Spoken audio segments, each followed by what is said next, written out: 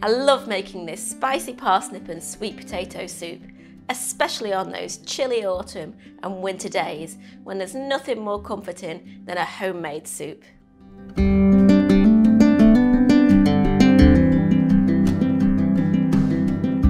We start by adding a tablespoon of olive oil to the pan over a medium heat. Then we're going to add a diced onion to the pan and cook for five minutes, stirring occasionally until the onion begins to soften. Now we're adding two cloves of minced garlic, a teaspoon of minced ginger and a tablespoon and a half of curry powder. I'm using mild curry powder, but you can use hot if you prefer. Stir it together and fry for another minute. Then we're going to add in a large sweet potato, two parsnips and an apple. A regular eating apple is fine. All of them peeled and diced. Stir in the sweet potato, parsnip and apple to coat them in the spices and fry them off for a minute. Then add in 4 heaped tablespoons of dried red lentils. Next in goes 600ml or 2.5 cups of chicken stock and a 400ml or 14 ounce can of coconut milk. For extra flavour, I'm going to chop up a handful of coriander or cilantro stalks and add them in too.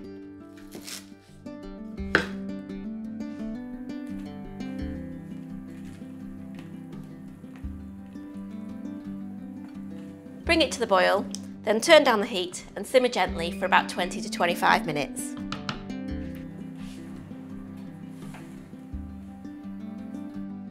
Take the soup off the heat, add a good pinch of salt and pepper and the juice of half a lime.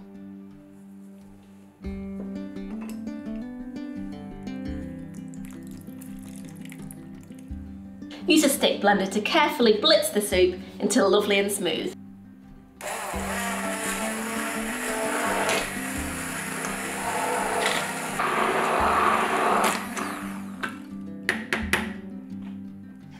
Have a taste and add a little bit more seasoning if it needs it.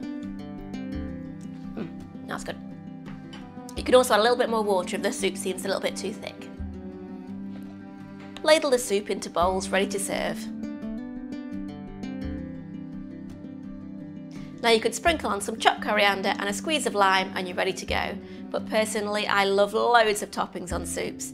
So I'm going for some parsnip crisps and some toasted peanuts. You can buy those in the shops or I've got some instructions below to show you how to do that. Also the chopped coriander, lime slices, some chilli flakes, a little bit of coconut milk and a little bit of chilli sauce.